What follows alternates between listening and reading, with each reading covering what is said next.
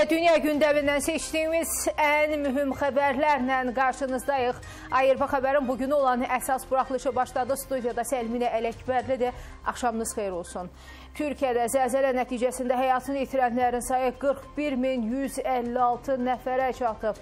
108 min yaralı var. Təbii fəlakət baş verən bölgələrdə 927 min bina yoxlanılıb. Onlardan 118 min tikilinin yaşayış üçün tamamilə yararsız olduğu müəyyənləşdirilib. Vitse-prezident Fuat Oktayın sözlərinə görə tədqiq edilən binaların təxminən 49 faizi zədəsizdir. Bu isə həmin binaların yaşayış üçün yararlı olduğunu deməyə əsas verir.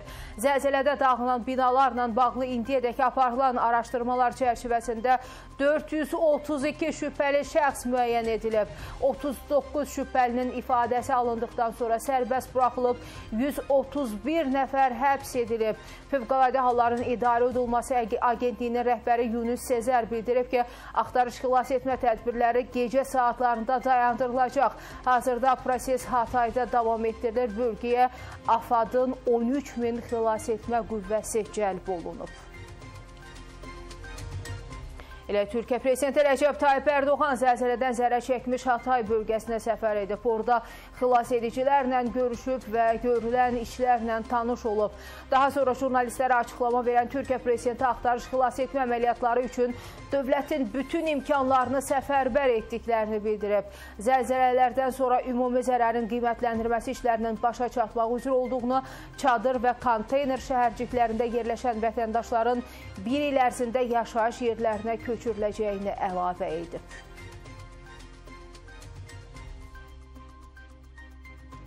Mart ayı içinde Hatay'da 40.426 konutun, Kahramanmaraş'ta 45.067 konutun, Adıyaman'da 25.882 konutun, Gaziantep'te 18.544 konutun, Malatya'da 44.770 konutun, Osmaniye'de 9.550 konutun, Diyarbakır'da 6.000 konutun, Şanlıurfa'da 3.000 konutun, Elazığ'da 3.750 konutun, Adana'da 2500 konutun, Kilis'te 250 konutun inşasına başlıyoruz. Hasar tespit, enkaz kaldırma, ve yer belirleme işlemleri bittikçe her ilimizde bu konut sayıları artacaktır. Bu arada Türkiyənin ətraf mühit şəhərsalma və iqlim dəyişikliyi naziri Murad Qurum deyib ki, Qaziantəpdə 16 min bina təcili sökülməlidir. Nazirin sözlərinə görə təbii fəlakətdən zərər görmüş 11 əyalətdə Türkiyə tarixinin ən böyük yenidən qurma layihəsi icra ediləcək. Martda 30 min binanın inşasına başlanılacaq. Binalar 3-4 mərtəbədən hündür olmayacaq və bir il ərzində sakinlərə təhvil veriləcək. Nazir eyni zamanda vurğulayıb ki, ümumilikdə zəlzələ bölgəsində 30 min mənzilin tikintisinə ehtiyac var.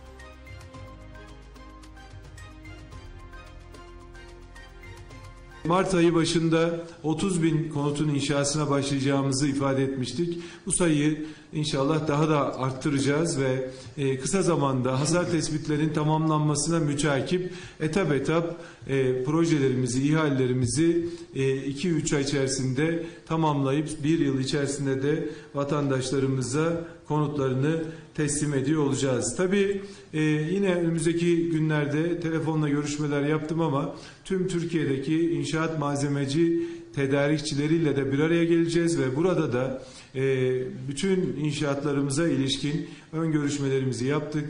Demirimizde, çimentomuzda, tuğlamızda, sıvamızda, boyamızda e, bu konutlardaki sürece uyacak şekilde tedarik zincirini de kuruyoruz ve bu kapsamda da hiçbir sıkıntı, problemin olmadığını da buradan milletimize ifade etmek istiyorum. Konutlarımız zemin artı 3-4 katı geçmeyecek ve yöresel kültürel ihtiyaçlar neyse bu ihtiyaçlar doğrultusunda planlanıyor. Türkiyədə zəlzələ baş verən vaxtdan Azərbaycana gələn Türkiyə vətəndaşlarının sayı açıqlanıb. Dövlət Miqrasiya Xidmətinin məlumatına görə bugünədək ölkə ərazisinə 8897 nəfər Türkiyə vətəndaşı daxil olub. Hər gün ortaya çıxan görüntülər Türkiyədəki zəlzələnin dağıdıcı gücünü bir daha göstərir. Hatayda baş verən zəlzələlərdən sonra 3 kilometrlik yolda dərin yarıqlar və çökmələr əmələ gəlib. Zəlzələnin şiddətini ortaya qoyan yolun yarılmasının havadan görüntüləri yayımlanıb. Samandağ rayonunda yerləşən və Asi çayının dənizə töküldüyü nöqtəyə aparan təxminən 3 kilometrlik yolun bu görüntüləri zəlzələnin magnitudasının nə qədər güclü olduğunu bir daha əks etdirir.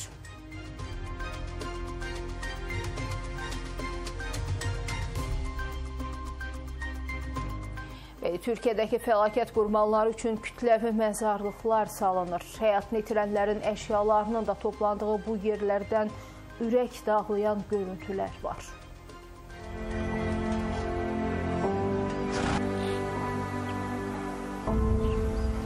Mənzərə dəhşətli, sözlər acizdir. Kiminin çantası, kiminin ayaqqabısı, kiminin gəlinciyi. Bu əşyalar Osmaniyyədə fəlakət qurbanları məzarlığında toplanıb. Hekayəsini bilmədiyimiz zəlzələ qurbanları burada dəfn edilib. Məzarlığa üz tutanlardan Nuri Aytaş Hatayda dağıntılar altında qalan yaxınlarının dəfn mərasiminə qatılmaq üçün burada olduğunu deyir. Şurada özellikle küçük bebekler var. 5 yaşında, 6 yaşında çocuklar var. Okul çantalarını koymuşlar. Yani yürek dayanmıyor. Söyleyecek aslında çok bir şey yok. Parçalanıyoruz. Nasıl toparlarız bilmiyoruz ama inşallah toparlayacağız. Toparlamaya çalışacağız. Zəlzələdə 16 yaxınını və yüzlərlə dostunu itirdiyini bildirən Osman Dəmir Qaynaq da çox kədərlidir. Çok üzücü, çok büyük bir felaket. Gerçekten tarifi yok. Arkadaşım vardı enkazından enkazdan çıkarttık çocukları falan. Dört, dört kişilik bir ailenin şey pardon altı kişilik bir ailenin dört tane kaybı var. Ellerimize çıkarttık. Onları ziyarete geldik. Aksu yazan komplesi ee, bir aile. Ee, tarifi yok. Çocukluk arkadaşın, ee, komşun, birçok e, samimi olduğun insanı kaybetmenin acısı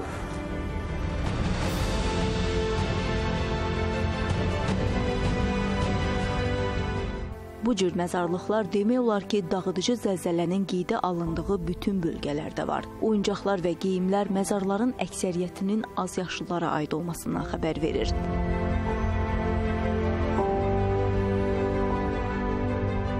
Birləşmiş Millətlər Təşkilatının Uşaq Fondu Türkiyədəki zəlzələnin uşaqlara təsiri ilə bağlı hesabat açıqlayıb. 4,5 milyondan çox azyaşlının risk altında olduğunu bildirib. Uşaqların ailələri təbii fəlakət nəticəsində ağır vəziyyətlə üzləşiblər. Onlar evlərini itiriblər, içməli su qıtlığı yaşayır və vəba xəstəliyinə tutulma riski ilə qarşılaşıblar. Bekleyelim.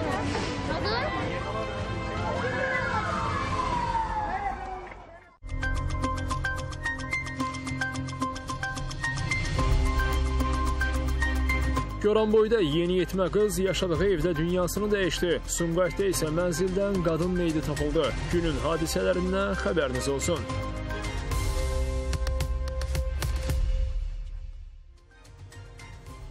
Artıq ambulator tibbi kitabçalar ləğv edilir. Bəzi tibb müəssisələrində pilot layihə də işə düşüb. Kağız daşıyıcılardakı tibbi məlumatlarımız bu dəfə elektron formada təqdim olunacaq. Vətəndaşın xəstəlik tarixçəsi ilə bağlı bütün məlumatlar tibbi kitabçada olsa da, poliklinikalarda bu kağız məlumat daşıyıcılarından istifadə bir çox çətinliklər yaradır. Valideyn bizə müraciət eləyəndə biz kartanı istəyirik. Kartalar kartotekada olur. Valideyn onu gətirir.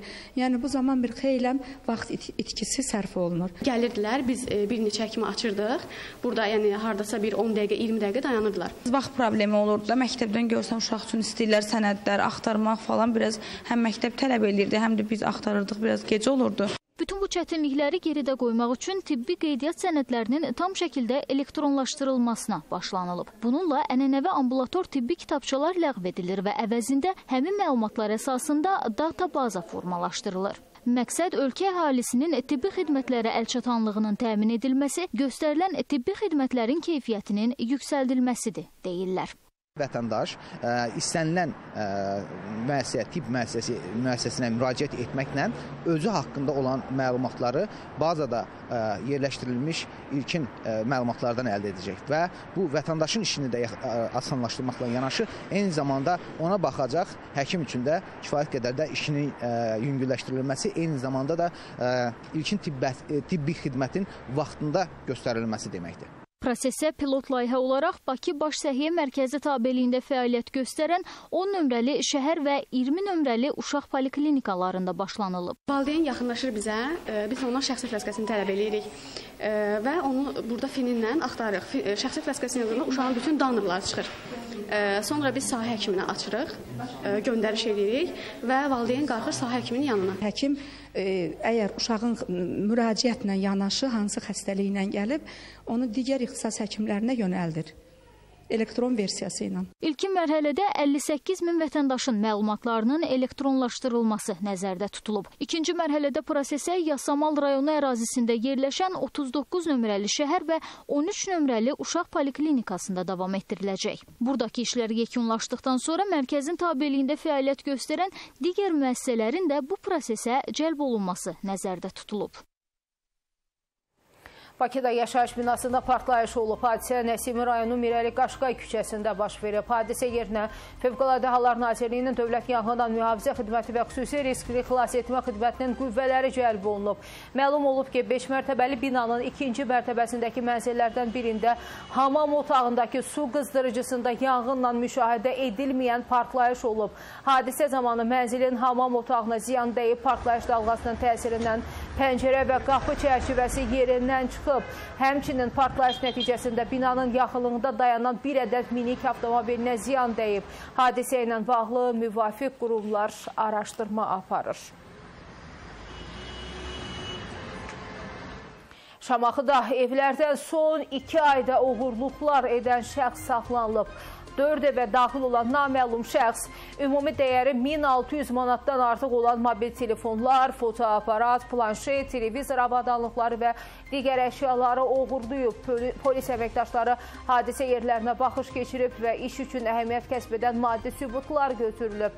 Nəticədə cinayət əməlini törətməkdə şübhəli bilinən rayon sakini Zamir İmanov elə iş başında yaxalanıb. Belə ki, sonuncu dəfə rayonda yerləşən evlərin birindən oğurluq etmək istəyən həmin həmin şəxs tutularaq istintaqa təhvil verilib. O ifadəsində daha 40-a yaxın mənzildən oğurluq etdiyini və əldə etdiklərini yaşadığı evin həyətyanı sahəsindəki tövlədə gizlətdiyini bildirib. Faktla bağlı cinayət işi başlanılıb. Goranboyda 15 yaşlı yeniyetmə qız dünyasını dəyişib. Hadisə rayonun Qızılhacılı qəsəbəsində qeydə alınıb. Evdə tək olan 9-cu sinif şagirdinin hamam otağında dəm qazından zəhərləndiyi ehtimal edilir. Yeniyetmə ailənin son beşik övladı olub, faktla bağlı araşdırma aparılır. Evdə tək olub, anası işdə olub, işdən gələndə görüb uşaq evdə yoxdur, axtarıb, axtarıb gedib hamam açanda görüb ki, hamamda uşaq rəhmətə gedib. Sumqayıtda qətl törədilib. 6-cı mikrorayon ərazisində yerləşən evlərin birindən qadın meyidi tapılıb. Mənzilə baxış zamanı 28 yaşlı Samirə Məmmədzadənin kəsici, deşici alətlə öldürüldüyü məlum olub. Araşdırmalarla cinayət hadisəni qadının həyat yoldaşı 41 yaşlı Talih Əhmədovun törətdiyi ortaya çıxıb. Talih Əhmədov könüllü istintaqa təslim olub. Faktla bağlı e, cinayət məcəlləsinin qəsdən adam öldürmə maddəsi ilə cinayət işi başlanıb, ibtidai istintaq aparılır.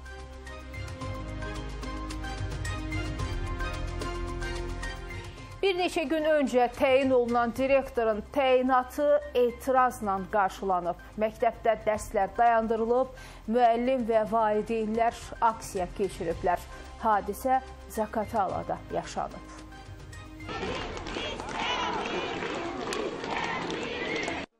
Zaqatala şəhər Şıxəli Qurbanov adına 3 saylı tam orta məktəbdə aksiya keçirən müəllim və valideynlər fevralın 17-sində məktəbə yeni direktor təyin edilən Məhnurə İsmailovanın vəzifəsindən azad edilməsini tələb edirlər. Kollektiv yeni direktorun idarəçiliyindən narazıdır. İddia edilir ki, Məhnurə İsmailova vəzifəyə təyin olunandan sonra yeni qadağaların tətbiqinə başlayıb. Mənim uşağım 5-ci gün məktəbə gəlibdi, həmin direktor da 5-ci gün gəlibdi məktəbə. Uşağı sinifə girib deyib ki, o nə şalvarı geyinmisən. Biz məktəbə başlayanda bütün məktəbdə dedilər ki, göy cins şalvar, qaranın cinsi də, onu ağ sarıçqala qara jaket alın. Biz onu almışıq. 5-ci gün uşağıma dedi ki, o nədir onu geyinmisən? Mənim 3 uşağım var, mənim imkanım yoxdur. Məktəb nə deyibsə biz onu almışıq. Məktəb qutarmağa 3 ay qalıbdı. Niyə ki deyir ki, onu al, bunu al? Bizə yeni şərtlərlə gələn belə bir müəlliməni qəbul edə bilmirik. Digər bir səbəb kimi isə imtahandan yüksək balla keçmiş məktəbin gənc müəllimlərindən birinin bu vəzifəyə təyin edilməməsi göstərilir. Bizə heç nədən bildirmədən, müəllimlərin fikrini almadan yeni bir e, namizəd, yəni müdir göndərdilər və biz kollektiv olaraq buna etiraz edirik. Heç birimiz yəni bundan razı deyilik. Məsələ ilə bağlı Şəki Zaqatala Regional Təhsil İdarəsi araşdırmalara başlayıb. Zaqatala 3 nömrəli məktəbə yeni təyin olunmuş direktora görə bir qədər narazılıq var. Vəziyyət araşdırılır e, qısa müddətdə həll olunacaq. Qeyd edək ki, bu təyinata qədər Məhnurə İsmailova Şəhid Valih Bədəlov adına Aşağı Talı kənd 1 saylı tam orta məktəbdə direktor işləyib. 3 saylı məktəbin əvvəlki direktoru isə çalışmanın yaş həddinə çatdığına görə onunla bağlanmış əmək müqaviləsinə xitam verilib. Gülgəz Mustafayeva, Visalə Cərçiyeva, Bəşir Rəhimov, Zaqatala.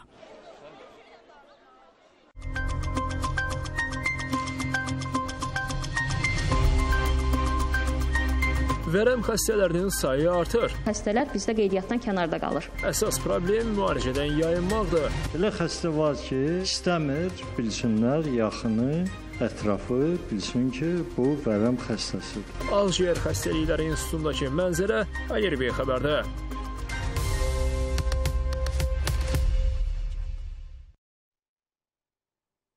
Belə statistikaya görə ötən il 5400-ə yaxın qeydiyyatda olan vərəm xəstəsi olub və bu il həmin rəqəmlər xeyli artıb, hələ qeydiyyatda olmayanlar da var. Deməli, vəziyyətin e, narahatlıq yaradan səviyyədədir. Bir qədər sonra geniş təqdim edəcəyik. Qarsda keçirilən qış təlimi 2023-də hərbi qulluqçular yüksək peşəkarlıq nümayiş etdirib. Birgə təlimlər ordular arasında təcrübə mübadiləsində və döyüş qabiliyyətinin daha da yüksəldilməsində mühüm rol oynayıb. Bu fikirləri Müdafiə Naziri Zakir Həsənov Gürcüstanın Müdafiə Qüvvələri komandanı Georgi Matişvilinin rəhbərlik etdiyi nümayəndə heyətini qəbul edərkən bildirib. Azərbaycan, Türkiyə və Gürcüstanın iki tərəfli və üç tərəfli əməkdaşlığının yüksək səviyyədə olduğunu bildirən nazir bunun regionda təhlükəsizliyin təmin edilməsində mühüm rol oynadığını xüsusi vurğulayıb. Zakir Həsənov Cənubi Qafqazın ölkə rəhbərinin iştirakı ilə e, Münxen Təhlükəsizlik Konfransı çərçivəsində keçirilən plenar iclasdakı görüşün əhəmiyyətini vurğulayıb. Gürcüstanın Müdafiə Qüvvələri komandanı Georgi Matiaşvili ölkələrimiz arasında hərbi əlaqələrin yüksək səviyyədə olduğunu vurğulayıb və Azərbaycan-Gürcüstan hərbi əməkdaşlığının regional təhlükəsizliyə töhfə verdiyini qeyd edib.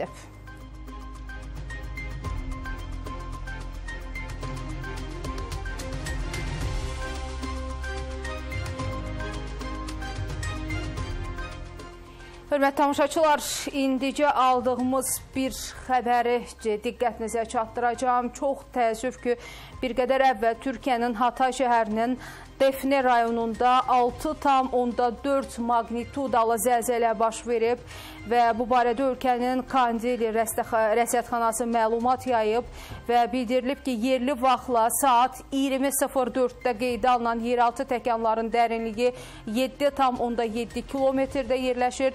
Zəlzələnin Adanada da hiss edildiyi deyilir. Bunun ardınca 5,8 magnitudada daha bir zəlzələ baş verib və Türkiyənin bəzi kütləvi informasiya vasitələrində zəlzələ nəticəsində dağıntıların olduğu deyilir və e, inşallah ümid eləyək ki, e, bölgədən, Türkiyədən acı xəbərlər gəlməyəcək. Davam eləyirik.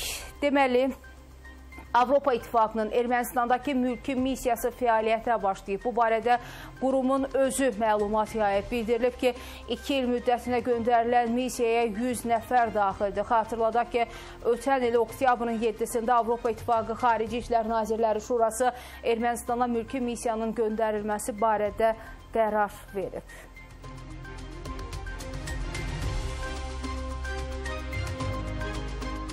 Beynəlxalq Ədalət Məhkəməsinin Azərbaycanın Ermənistana qarşı işi üzrə qərarını vaxt, ə, açıqlayacağı vaxt bilinib. Haqa Məhkəməsinin məlumatına görə fevralın 22-sində İlqari seçkiliyin bütün formalarının ləğv edilməsi haqqında Beynəlxalq Konvensiyanın tətbiqi ilə bağlı məhkəmə işi üzrə əlavə müvəqqəti tədbirlərin müəyyən olunması üçün Azərbaycanın sorğusu üzrə qərar açıqlanacaq. Məhkəmə hakim Juan Donoğu'nun sədrliyi ilə Sülh Sarayında keçiriləcək.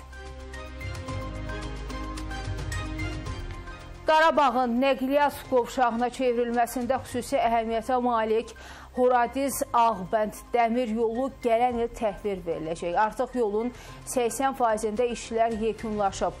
Ümumi uzunluğu 110 kilometrdən çox olacaq dəmir yolu xəttinin üzərində 9 stansiya inşa olunacaq.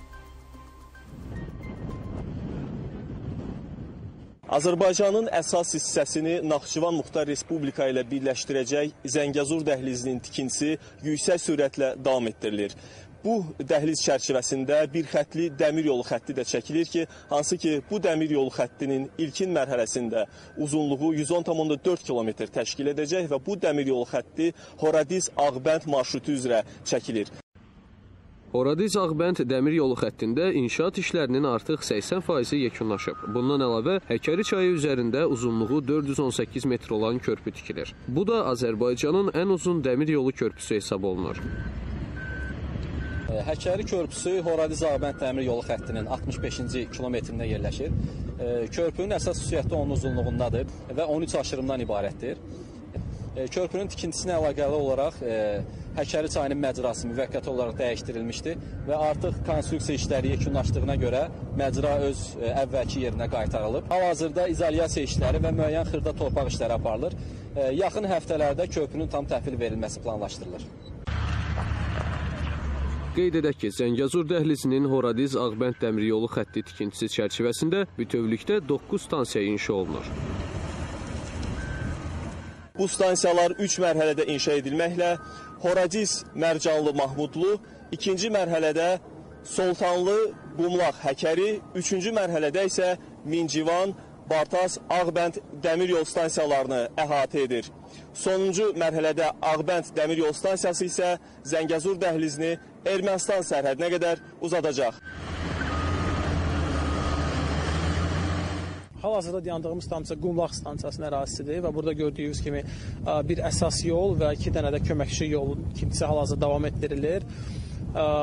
Təxminən 1 kilometrdən biraz artıq məsafədir stansiya ərazisini əhatə edir və bu stansiya yan yolları əks istiqamətdə hərəkət edən qatarların dayanıb və hərəkəti davam etdirməsi üçün nəzərdə tutulub və eyni zamanda indi yük qatarların gəlib boşaltma və bəzi əməliyyatlar həyata görməsi üçün nəzərdə tutulub.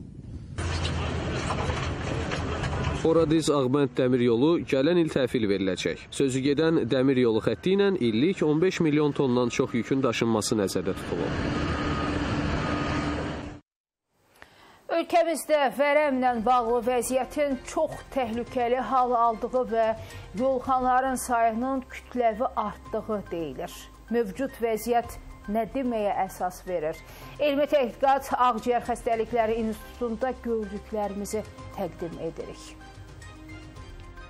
Ötən il ölkədə 5320 vərəm xəstəsi qeydiyyata alınıb. Onlardan 2939-u ilk dəfə, 2381 nəfəri isə təkrar yoluxub. Mən deyim ki, rəqəmlərdə kəskin artış halı özün biruzə verir. Bu doğru olmaz. Yəni nisbətən bu tendensiya, bu stabillik əldə olunur. Çünki öncəki qeydiyyata düşmüş xəstələr və rəsmi qurumlarda qeydiyyata düşmüş xəstələr həkimlər tərəfindən nəzarətdədir. Çünki bunlar dərman preparatları ilə tam təmin olunur. Bu xəstəliyin müalicəsi tam ə, icbari tibbi sığorta, yəni zərfi ə, tərəfindən, həmin o paketlər ə, zərfi tərəfindən qarşılanır. Xəstələrin həm müayinəsi, həm də ki, müalicəsinə ayrılan dərmanlar dövlət tərəfindən xəstələrə tam pulsuz şəkildə verilir. Mütəxəssislər deyir, bu xəstəlikdən əziyyət çəkən, amma qeydiyyata düşməyən şəxslər də kifayət qədərdir. Bu isə çox ciddi təhlükədən xəbər verir. Çünki vərəm hava damcı və ya məişət kontaktı ilə yayıla bilər. Təəssüf hissi ilə qeyd etmək istəyirəm ki, bütün xəstələr ə, ilkin müraciət olaraq məhz vərəmə bağlı simptomlar olarsa, ağciyəri ilə bağlı hər hansı bir öskürək, müəyyən hərarət, ilk e, mütəxəssis e, olaraq məhz ftiziatra yönəlmirlər.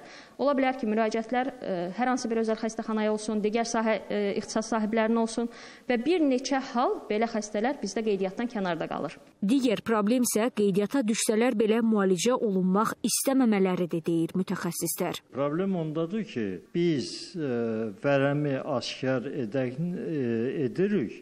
Ancaq ki, bütün xəstələr müalicəyə qoşulmur. Bir qismi müalicədən kənar qalır. Bəzi səbəblərə görə. Elə xəstə var ki, istəmir bilsinlər yaxını, ətrafı bilsin ki, bu vərəm xəstəsidir. Hal-hazırda Azərbaycanda məcburi müalicə yoxdur. Vərəmə görə. İnfeksion xəstəlik olan vərəm daha çox ağciyərdə aşkarlanır. Xəstəliyin əsas simptomları bədən temperaturunun yüksəlməsi, öskürək, ümumi halın pisləşməsi, gecə tərləmələri, yüksək yorğunluq və ağızdan qan ifrazıdır. Sadalanan simptomlardan ən az biri 3 həftə ərzində davamlı müşahidə olunarsa, şəxs mütləq şəkildə həkim ftiziatra müraciət etməlidir. Yalnız xüsusi analizlər verildikdən sonra vərəm diaqnozu təsdiqlənə bilər. Müalicə müddəti vərəmin növündən asılı olaraq 6 və ya 20 ay ərzində ambulator və ya stasionar şəkildə davam edə bilər. Səbinə Qurban, Vahab İmanzadə, ARB xəbər.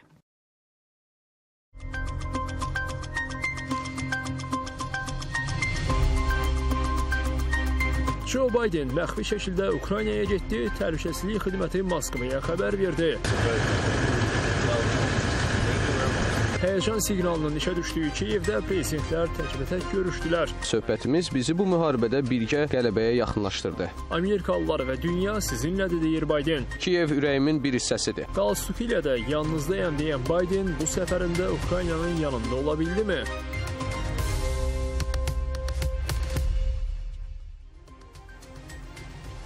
Bəli, Bidenin Ukraynaya gözlənilməyən səfəri e, bugün dünyanın ən çox danışdığı xəbər idi. Bir qədər sonra təfərrüatları təqdim edəcək, hələkilik digər e, xarici xəbərlərimiz olacaq. Avropa İttifaqı İrana qarşı sanksiyaları genişləndirib. Yeni sanksiyalar İranda insan haqları pozuntularına görə tətbiq olunub. Sanksiya tətbiq edilənlərin siyasında İranın Mədəniyyət və İslam e, İrşad Naziri, Təhsil Naziri, İslam e, İnqilabi Keşikçiləri Korpusu Korpusunun komandir müavini və sözçüsü, İran parlamentinin deputatları ölkənin müxtəlif yerlərində repressiyalar törətmiş polis, məhkəmə üzvləri, həbsxana nəzarətçiləri və direktorları var. Ümumilikdə 196 fiziki şəxsə və 33 quruma sanksiyalar şamil edilib. Bunlar aktivlərin dondurulması, Avropa İttifaqına səyahət qadağası və sanksiya tətbiq olunan şəxslərə vəsait və ya iqtisadi resursların verilməsinə qadağadan ibarətdir. Daxili repressiya üçün istifadə istifadə oluna biləcək avadanlıqların və telekommunikasiyaların monitorinqi üçün avadanlıqların İrana ixracına qarşı qadağa da qüvvədədir. Avropa İttifaqının xarici siyasət və təhlükəsizlik məsələləri üzrə nümayəndəsi Josep Borrell jurnalistlərə açıqlamasında deyib ki, İran Xarici İşlər Naziri Əmir Əbdullahiyənlə telefon danışığı zamanı sanksiyaların tətbiq olunacağı ilə bağlı ona xəbərdarlıq edilib.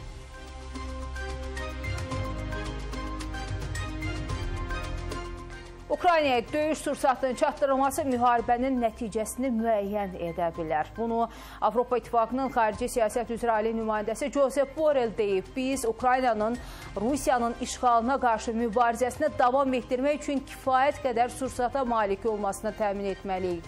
Biz bunu bacarmasaq, müharibənin sonu təhlükə altında olacaq, deyə o əlavə edib. Bu gün Ukrayna ordusu üçün ən vacib məsələ sursat axınının davamlı olmasıdır. Rusiya artilleriyası gündə 50 minə yaxın atəş açır və Ukrayna buna cavab vermək üçün eyni güclü olmalıdır. Onların topları var, lakin döyüş sursatı yoxdur. Moldova Avropa ölkələrini Rusiya yönümlü bəzi siyasətçilərinə sanksiya tətbiq etməyə çağırıb. Bu barədə ölkənin xarici işlər naziri Niko Popescu jurnalistlərə açıqlamasında bildirib. Nazir onların aktivlərinin dondurulmasını və viza qadağaları qoyulmasını istəyib. Onun sözlərinə görə həmin şəxslər etirazçılara pul ödəməklə Moldovada hökumət çevrilişi həyata keçirməyə çalışır.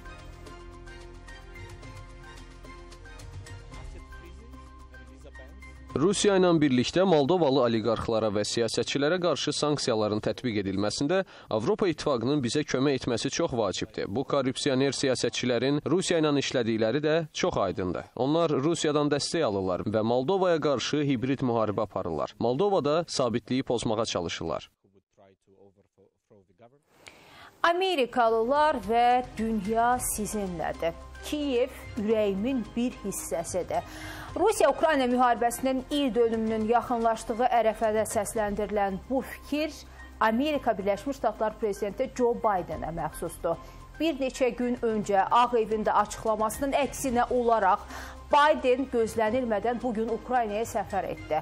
Ukrayna prezidenti ilə müzakirələrdən sonra Volodimir Zelenskinin də açıqlaması maraqlı oldu. Görüşün nəticəsi döyüş meydanında hiss ediləcək. Birləşmiş Ştatlar prezidenti Joe Biden Kiyevə sürpriz səfər edib. Həm də Rusiyanın Ukraynaya hücumunun birinci il dönümü və tam miqyaslı müharibənin bir ilinin başa çatmasına 4 gün qalmış. Səfər həmçinin 2014-cü ildə Ukraynalıların ləyaqət inqilabı adlandırdığı etirazlarda həyatını itirən 107 nəfərin xatirəsinin yad edildiyi səmavi 100 qəhrəman gününə də təsadüf edib. Baydenin səfəri ilə bağlı informasiyalar məhduddur. Qeyd olunur ki, o fevralın 19-da həyat yoldaşı ilə nahar etdikdən qısa müddət sonra yola düşüb. Polşa sərhəddindən 1 saatlıq qatarla Ukraynanın paytaxtına gedib. Bayden məxfi xidmət orqanı və Pentaqonun xəbərdarlığına qarşı çıxaraq mühasirəyə alınmış şəhərə yollanıb. Təbii ki, dövlət başçısının təhlükəsizliyi üçün səfəri və hərəkət marşrutu gizli saxlanılıb. Bayden Kiyevə çatarkən şəhərdə Rusiyanın raket və hava hücumları olmasa da, həyəcan siqnalları işə düşüb. Ərazidə təhlükəsizlik tədbirləri yüksək səviyyəyə çatdırılıb. Baydenin səfərinə Kiyev sakinlərinin reaksiyası isə təəccüb doğurub. Onlar Amerikalı liderin gəlişini böyük sevinclə qarşılayıblar.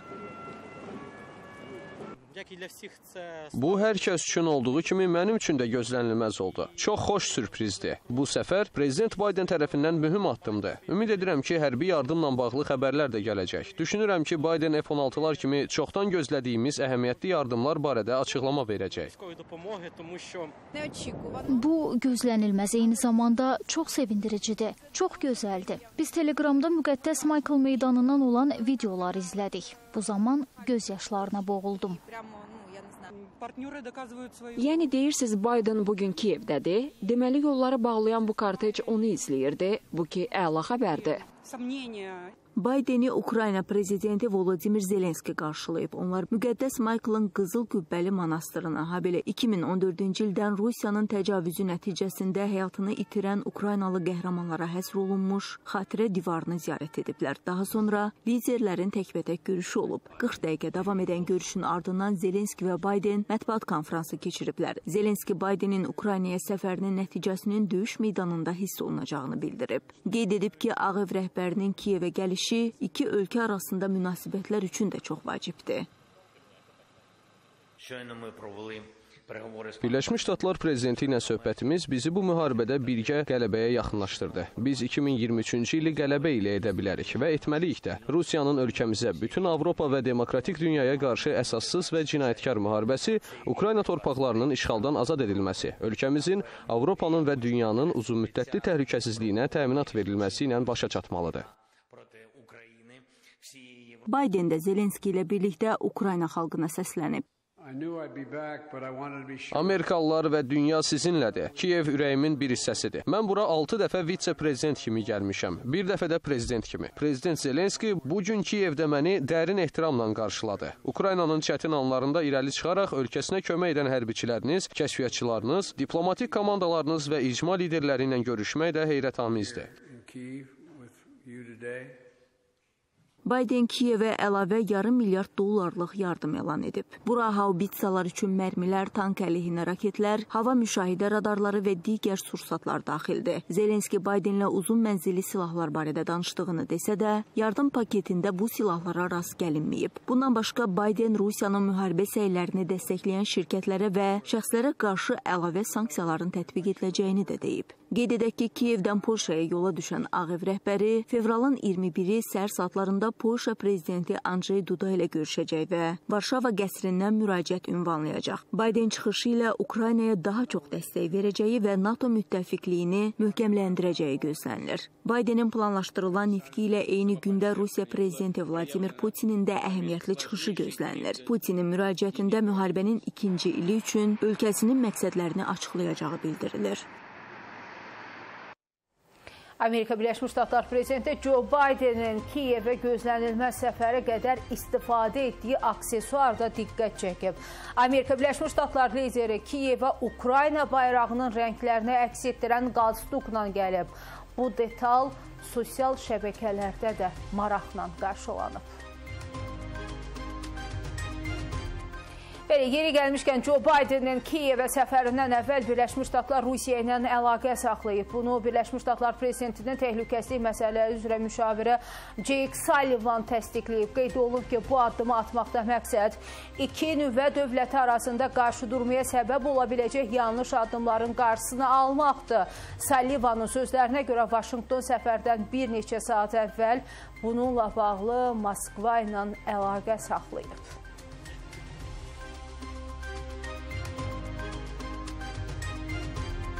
Gürcüstanda təxminən 15 gündə davam edən qarlı hava şəraiti bir sıra beynəlxalq əhəmiyyətli yolların bağlanmasına səbəb olub.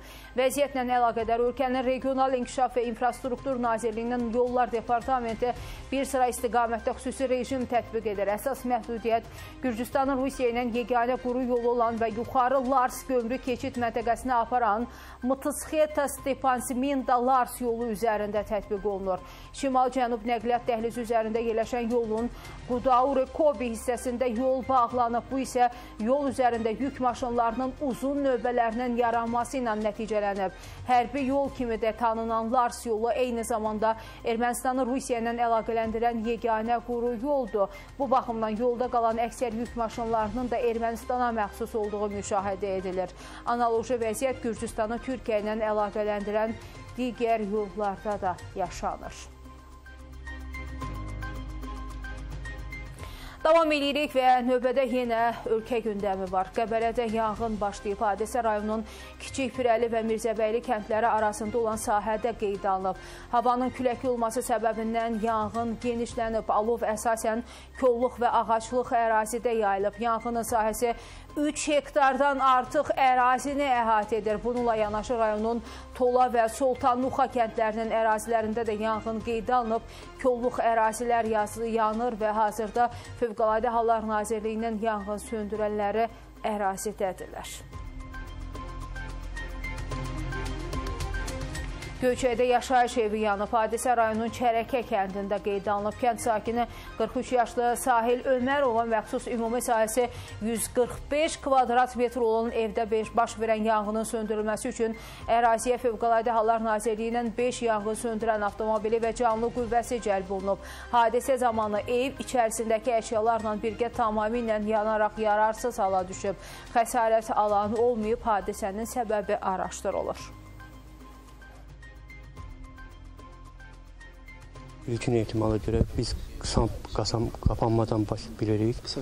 Bəli, yəni ayrı burada heç bir şey ola bilməzlər. Yəni qaz bağlı olub, işıqdan ola bilər. Yəni gördüyünüz kimi, yəni xaladelnikimiz, televizorumuz, yəni olan bütün məşin əşyaları hamısı yanıb da. Heç nə çıxarılmır. Heç nə, sənədlərimiz, hamısı. Mingəçevirdə kütləvi dava bıçaqlanma ilə nəticələnib. Hadisə rayonun Mingəçevir kəndi adlanan ərazisində yaşanıb. Aralarında yaranan mübahisə zamanı 19 yaşlı Fazil Hüseynzadə üzərində gətirdiyi bıçaqla 31 yaşlı Rauf Məmmədova xəsarətlər yetirib. Yaralı Dəhrar rayon mərkəzi xəstəxanasına çatdırılıb, polis faktı araşdırır.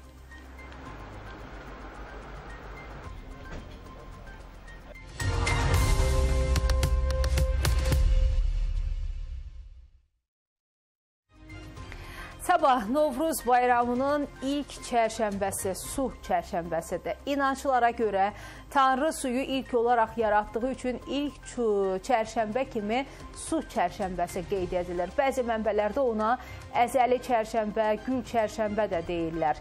İlk tonqalın su çərşənbəsində yandırılması, buzların əriməsi artıq qışın arxada qalmasının göstəricisidir. Onu da bildirək ki, fevralın 28-də ot, martın 7-sində yel, martın 14-də isə axırıncı torpaq çərşənbəsi qeyd olunacaq. Novruz bayramı isə martın 20-sinə təsadüf edəcək.